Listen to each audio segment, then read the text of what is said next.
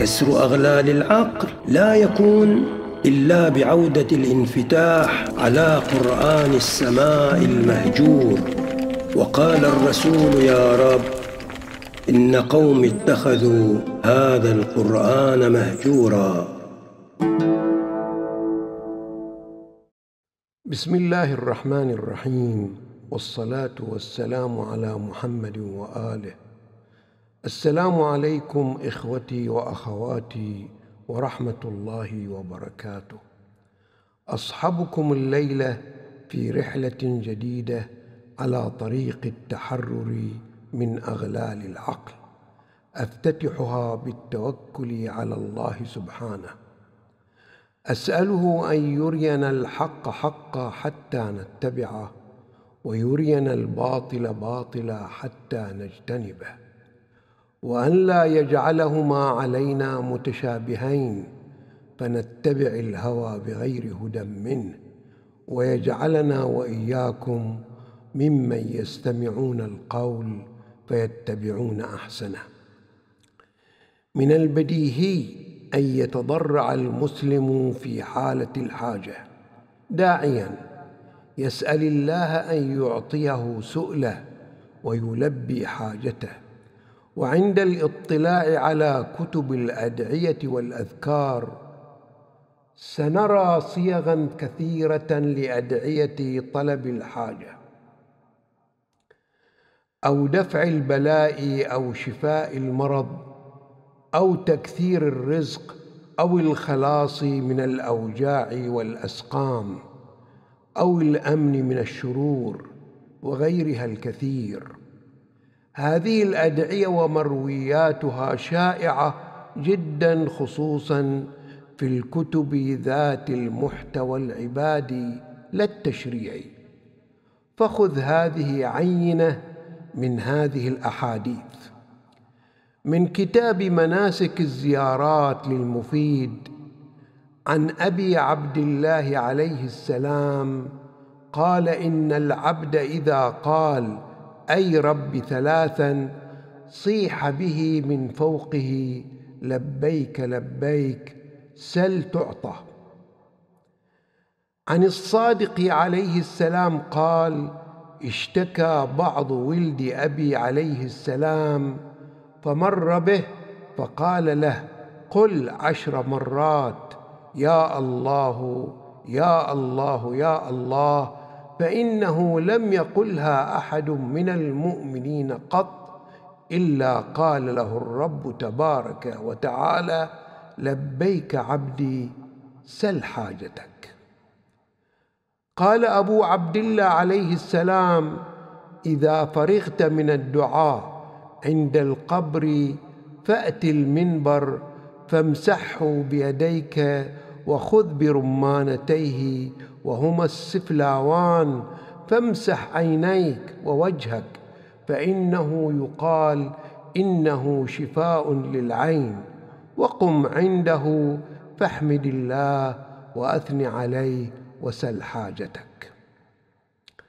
وقال أبو عبد الله عليه السلام إن من ألح الدعاء أن يقول العبد ما شاء الله وإن من أجمع الدعاء أن يقول العبد الاستغفار.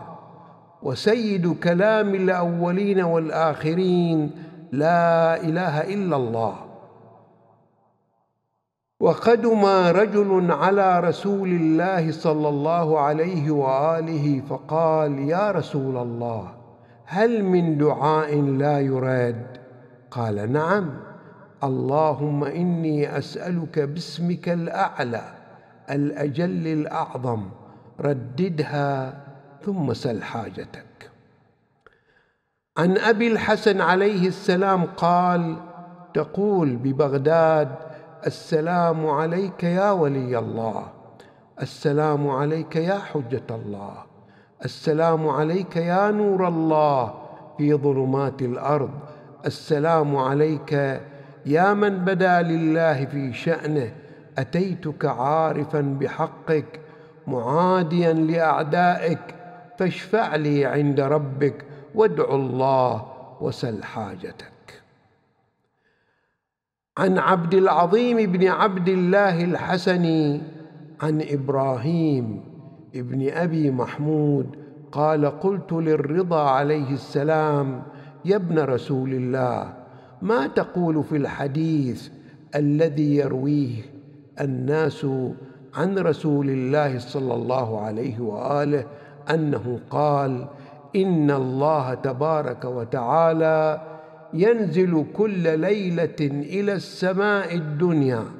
فقال عليه السلام لعن الله المحرفين الكلم عن مواضعه.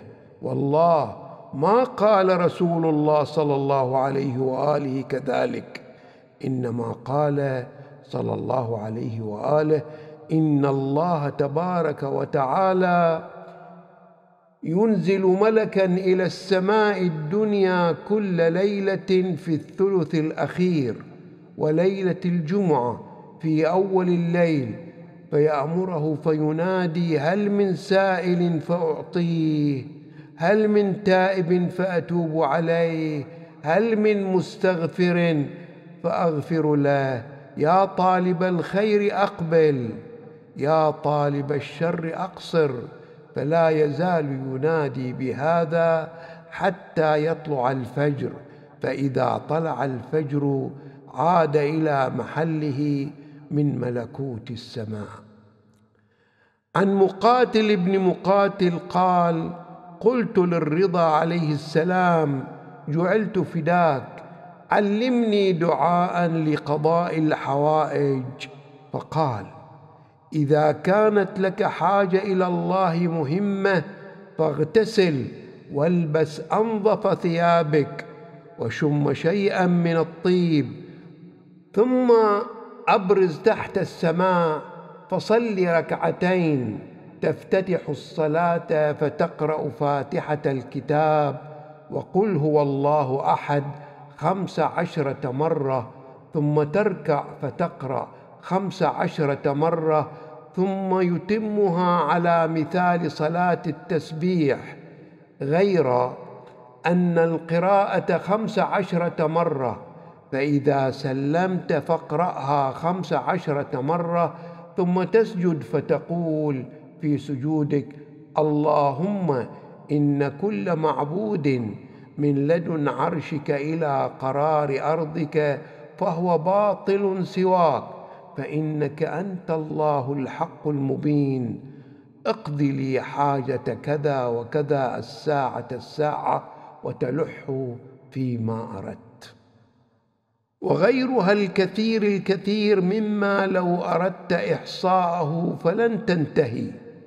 ولكن موجز هذه الأحاديث ومرويات الأدعية جميعها هو أن من دعا بهذا الدعاء بالصيغة المأثورة في الحديث وبالتكرار المحدد فإن أبواب استجابة السماء تفتح له للسؤال عن حاجته ولا يرد طلبه مهما كان.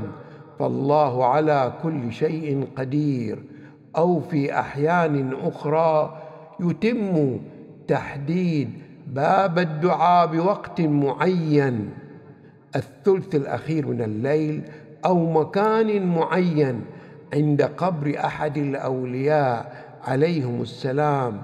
فإذا ما التزم المرء بالشرط الوارد في متن الرواية سمع دعاؤه ووعد الإجابة من الله سبحانه.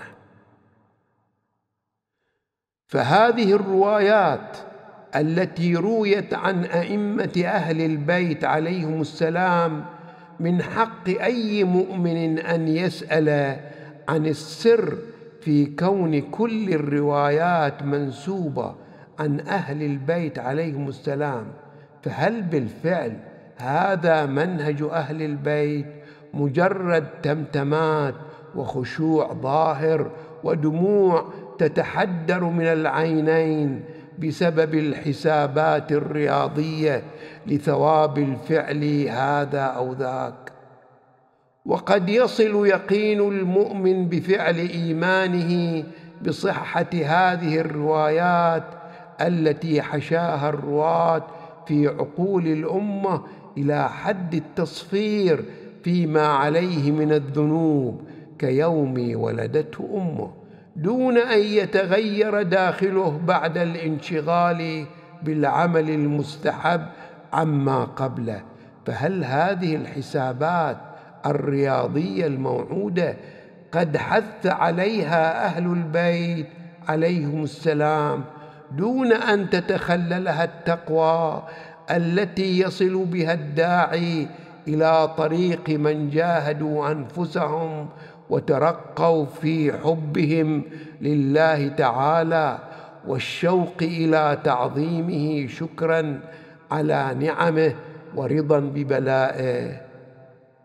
لم تسلم هذه المرويات من النقد والاستغراب حتى من بعض عامة الناس إذ لم يجدوها مقنعة لهم فشرع الله تعالى لا يناقض العلم ولا المنطق.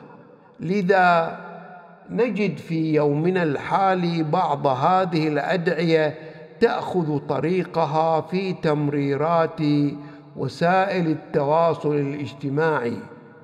فمن دعا بهذا الدعاء صبيحة الجمعة أعطي كذا ومن قال بهذا ثلاثا أغدق عليه في الرزق ومن سأل الله بحق آل محمد أجابه بما يرضيه إلى آخره من الرسائل القصيرة الرنانة التي شاع تبادلها في جوالاتنا في المناسبات وخارجها. حتى أصبحت مصدر تندر وهزل عند البعض. وصار بعض الشباب المؤمن المتعلم لا يأخذها على محمل الجد ويمتعض منها حيث يرى فيها نزوحا للتسطيح وعزوفا عن الجد والأخذ بالأسباب واستبدال التوكل الحقيقي بالاتكال عوضا عن ذلك على دعاء ضعيف السند لا يصدقه الواقع فما يتطلبه إنجاز أمر هو الأخذ بالأسباب والعمل الدؤوب لكي تجتنى الثمار. وحتى أن بعض العلماء أيضا انتقدوا ممارسات المؤمنين المترشحه عن هذه الروايات بل وصفها بعضهم بالميكافيلية. فهذا الشيخ عباس القمي في كتابه منتهى الآمال في تواريخ النبي والآل يقول كما أن السفر لزيارة سيد الشهداء عليه السلام أضحى من أسفار اللهو والنزهة عند كثير من المترفين وقد أخبرنا رسول الله صلى الله عليه وآله بنظير ذلك في سفر الحج إذ قال يحج أغنياء أمتي للنزهة وأوسطهم للتجارة وفقراؤهم للسمعة. وينقل الشيخ المطهر عن الحاج نوري في كتابه اللؤلؤ والمرجان بأن البعض يقول بأن إقامة المجالس الحسينية والبكاء على الحسين فيه الثواب الكثير بحيث يمكن للمرء أن يستخدم هذه الوسيلة للتكفير عن كل ذنوبه. انتهى كلام الحاج نوري. ثم يعلق الشيخ المطهر قائلا وهذا الأمر يذكرنا بالمدرسة الميكافيليه المعروفة اليوم تحت شعار الغاية تبرر الوسيلة. فما دامت الغاية جيدة فليس مهما نوع الوسيلة المستخدمة وهكذا يحرف هذا البعض أهداف المدرسة الحسينية عندما يقولون ما دام الهدف مقدسا وهو البكاء على الحسين وهو لا شك أمر جيد وينبغي أن يحصل ولكن ما هي وسيلة البكاء؟ أي وسيلة كانت؟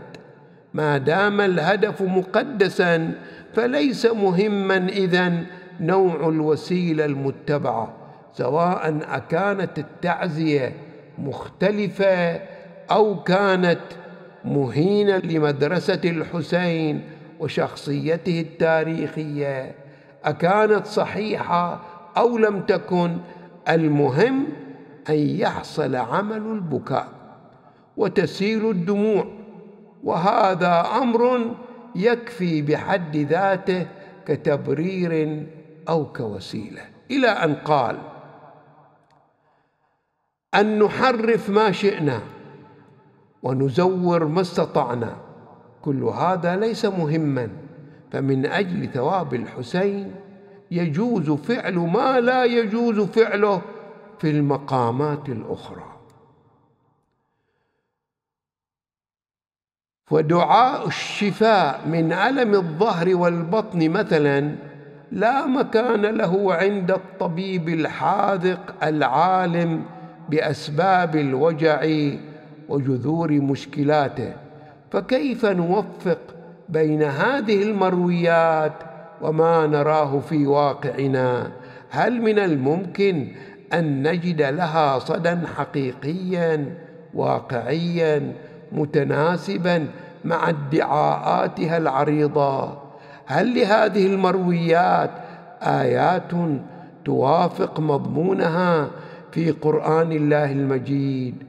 وقد يأتيك جواب من يعتقد بصحتها مباشرة. نعم. ويزيد بأن القرآن يزخر بأمثلة الأدعية المستجابة للأنبياء وبآيات صريحة تحث على الدعاء أو تقرع بجاحد الاستجابة. ويشرع في سرد هذه الآيات مثالا. وإذا سألك عبادي عني فإني قريب أجيب دعوة الداعي إذا دعاني فليستجيبوا لي وليؤمنوا بي لعلهم يرشدون. اما يجيب المضطر إذا دعاه ويكشف السوء ويجعلكم خلفاء الأرض أإله مع الله قليلا ما تذكرون؟ وإذا مس الإنسان الضر دعانا لجنبه أو قاعدا أو قائما فلما كشفنا عنه ضره مر كأن لم يدعنا إلى ضر مسه كذلك زين للمسرفين ما كانوا يعملون. وإذا أنعمنا على الإنسان أعرض ونأى بجانبه وإذا مسه الشر فذو دعاء عريض. نعم القرآن يؤكد على أصالة مفهوم الدعاء والرجوع إلى الله سبحانه وأنه الملتجا وغاية المسؤول الذي ينبغي التضرع إليه بل يجعل من الدعاء والعبادة شيئا واحدا وقال ربكم ادعوني أستجب لكم. إن الذين يستكبرون عن عبادتي سيدخلون جهنم داخرين. فالدعاء يعني الافتقار إلى الله عز وجل واللجوء إليه. ولهذا جاء في الحديث الدعاء مخ العبادة. ولكن المشكلة ليست في وجود مفهوم الدعاء فالمسلمون يجمعون على أصالته ولكن المشكلة والاختلاف يقع في فلسفة المفهوم وطريقة تفعيله في واقعنا والأفهام مختلفة على اتجاهين أحدهما يرسخ التواكل والآخر يريد التوكل. فالمرويات المذكورة انفا تسوق الدعاء وكأنه كلمة السر التي بها نفتح نافذة عطايا السماء. فمتى ما تمتمنا بألفاظ الدعاء أو كررنا الآية الموصى بها خمسين مرة وليس تسعا وأربعين فما رد استجابة الله جل وعلا بين أيدينا يلبي الحاجة ويعطي السؤال وكأن المفتاح إلى السماء هو في ترديد كلمة معينة ثلاثا.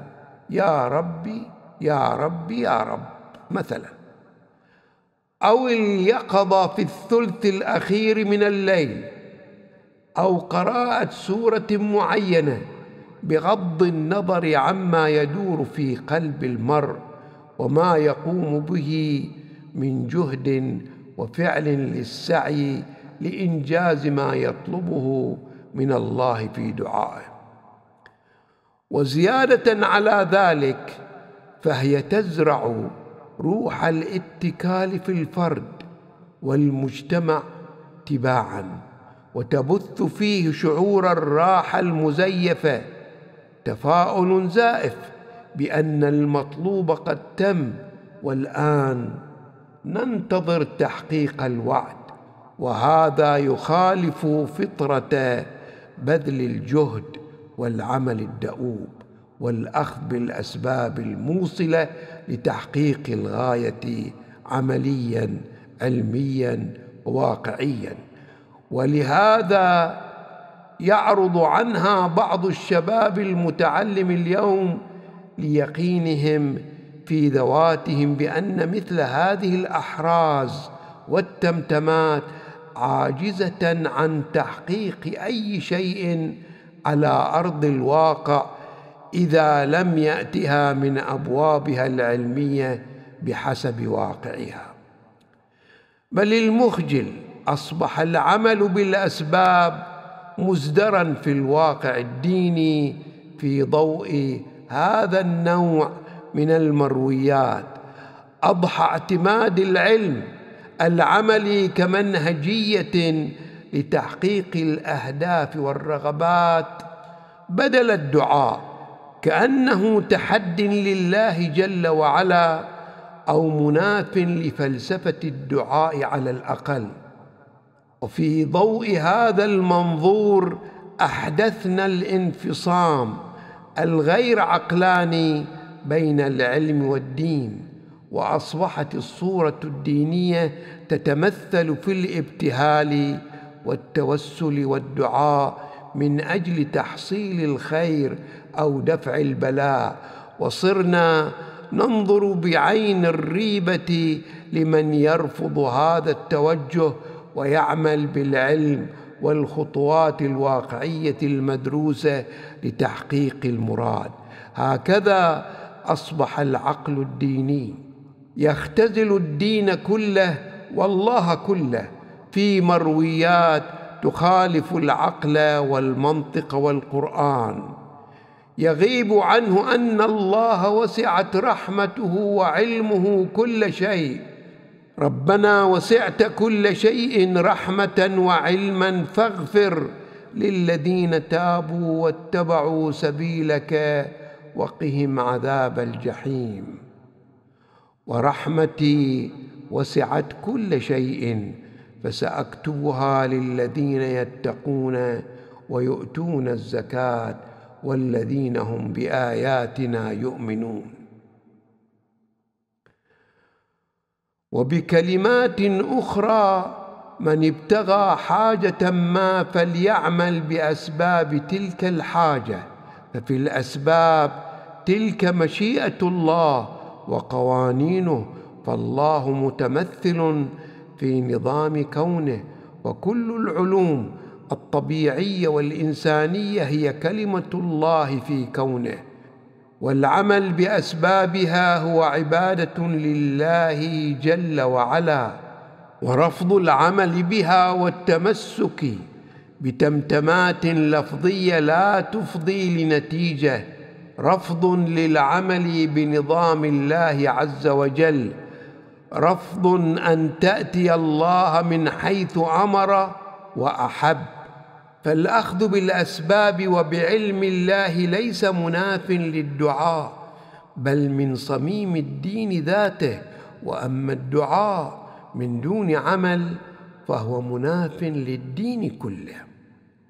فالدعاء تأسيس لواقع فالله لا يغير ما بقوم حتى يغيروا ما بأنفسهم وليس هو سبحانه شماعة اتكالية أو مارد لتلبية الحاجات ففي الدعاء إن كان صادقا يعرف المرء حاجته أو يلقن نفسه بها وبالإصرار على تحقيقها والتوفيق والتيسير لإنجازها وعليه بعدئذ السعي الحقيقي والدؤوب لتحصيلها بكل الأسباب المشروعة التي سأل الله تيسيرها له أو تبصيره بها باذلا كل ما في وسعه وبذلك يقترب الله منه لتحقيق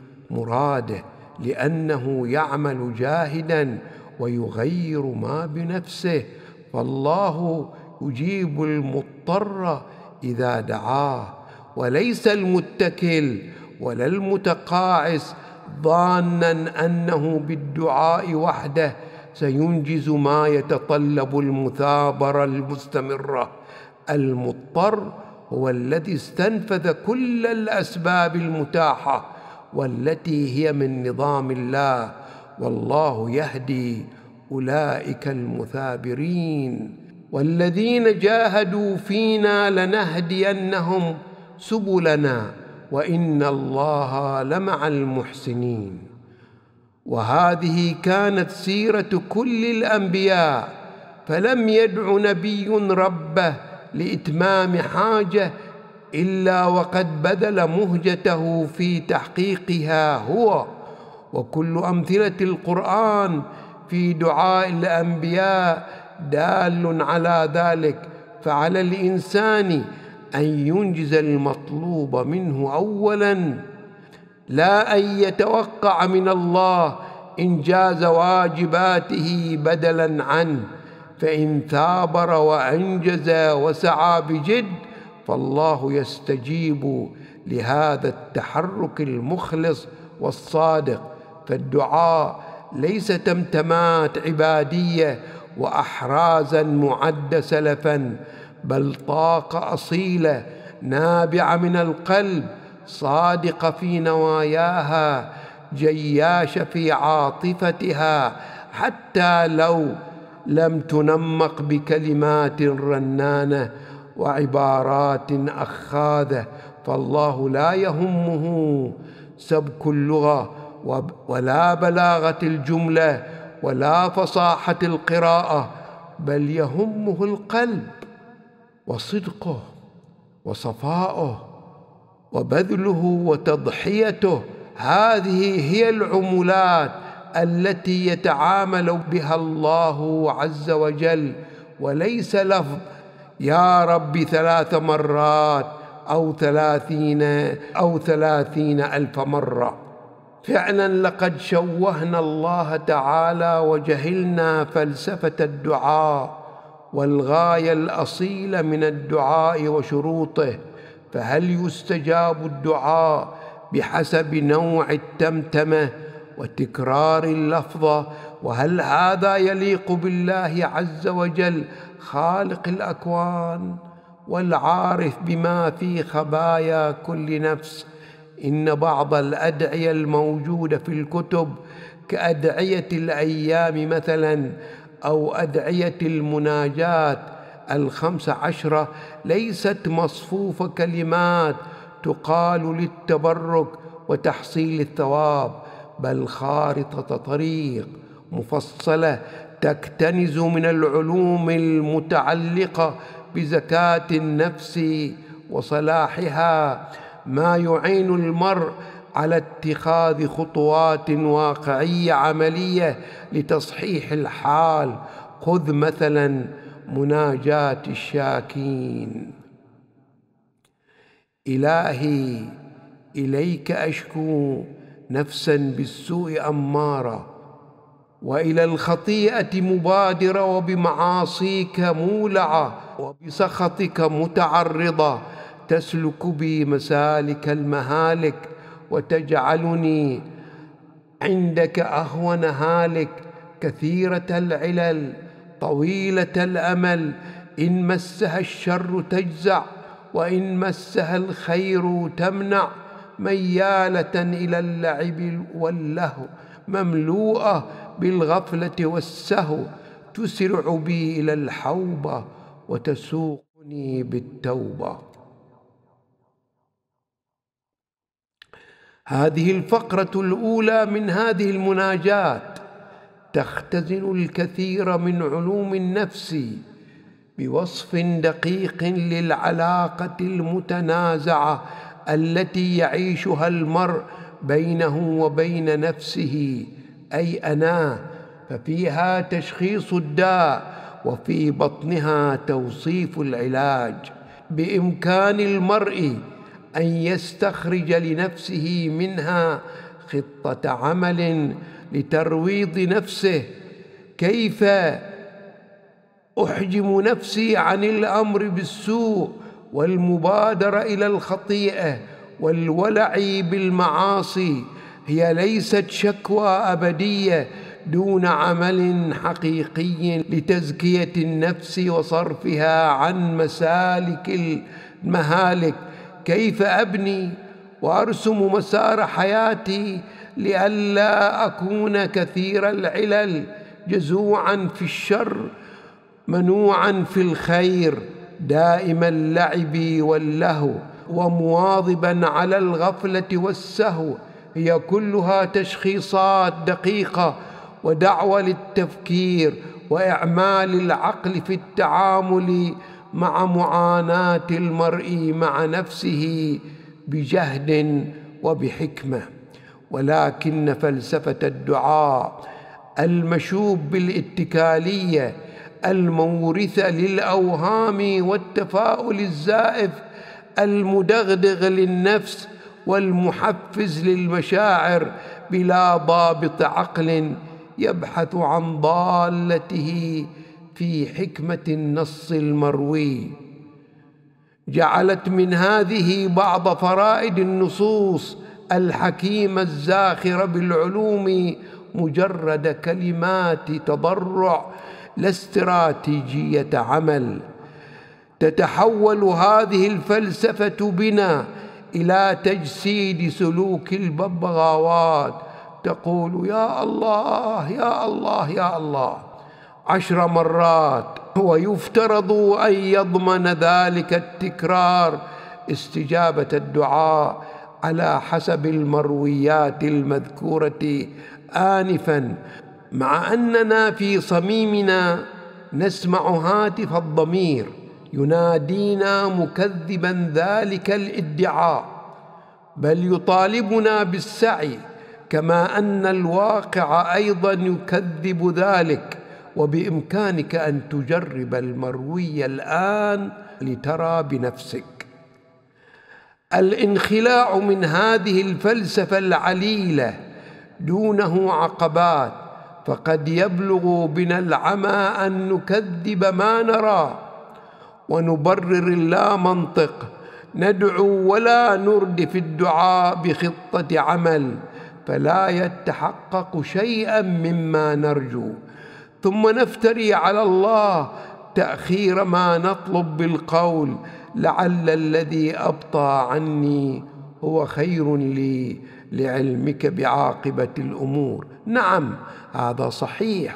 لعل الذي ابطا عنا هو خير لنا. ربما لأننا لم ننجز المطلوب منا.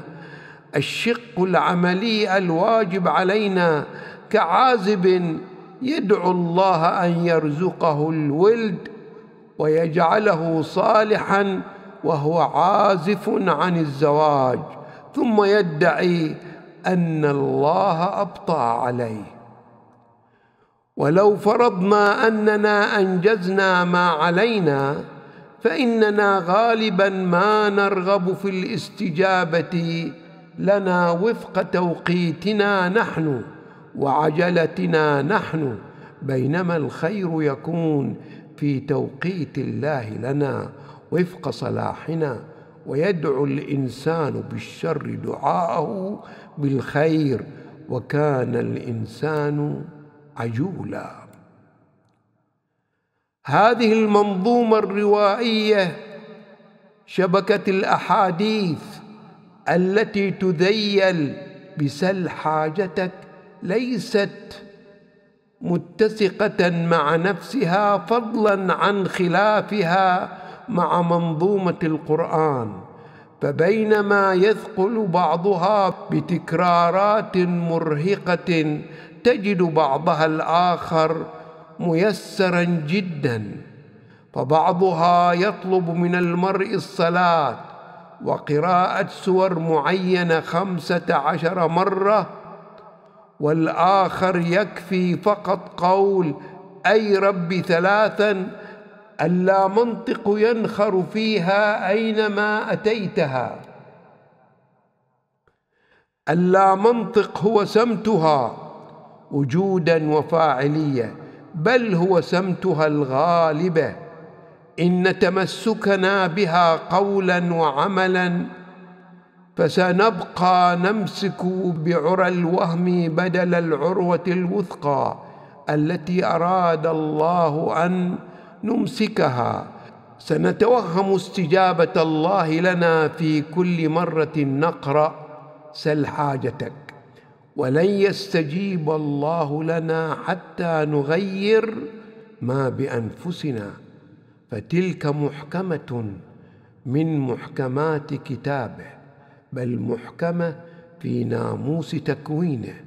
ولن نتغير ما لم نتبع المنطق ونؤسس للتغيير بفكرة صحيحة يتبعها عمل. إما أن نتبع الوهم أو نتبع المنطق. والفطر وقرآن السماء المهجور قبل أن نكون مشمولين في من يشكوهم رسول الله قائلا يا رب إن قوم اتخذوا هذا القرآن مهجورا. نستودعكم الله والسلام عليكم ورحمة الله وبركاته. كسر أغلال العقل لا يكون إلا بعودة الانفتاح على قرآن السماء المهجور. وقال الرسول يا رب إن قوم اتخذوا هذا القرآن مهجورا.